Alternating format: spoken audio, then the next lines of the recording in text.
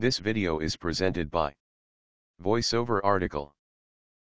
Are you constantly trying to stay just one step ahead of your bills? A budget can help you organize your finances. It is really surprising, but a budget can save time and a lot of worries. Many people think of a budget as a financial jail or a diet.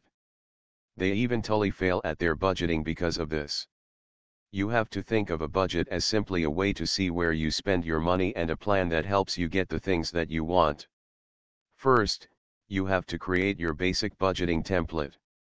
You have to look at the way you actually spend your money, not some computer's predetermined amounts, to be able to successfully budget. Start with your income, which is easy to identify. Then move on to identifying your spending and expenses. Start with your bills. List each one and the amount that you pay. You might want to go ahead and add interest rates and pay off amounts to any of the debts, so that you can get a head start in identifying what you need to pay off first. Then move on to the basics, such as groceries and car expenses. If you eat out every day for lunch, include this category in your spending.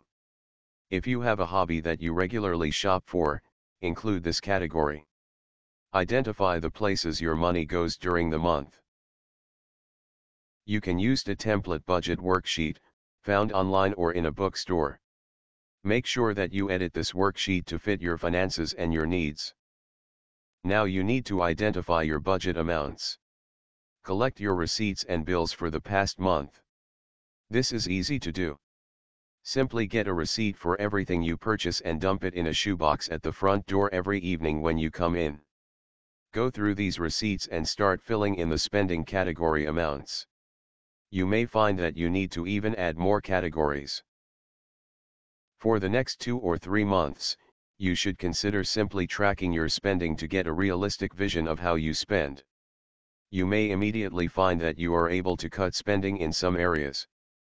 Often, people are surprised to know that they spend so much on something. Once you have an idea of where your money is really going, you can start cutting back in certain areas.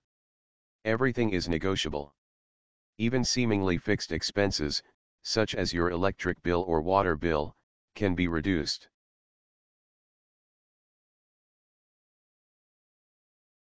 Remember, your budget isn't something designed to limit your spending. It is created to let you manage your spending. You are able to get an accurate view of how you spend. There isn't anything to be guilty about or shamed about when you really see how your money is being spent. Now you can see how to fix it. This video is presented by VoiceOver Article.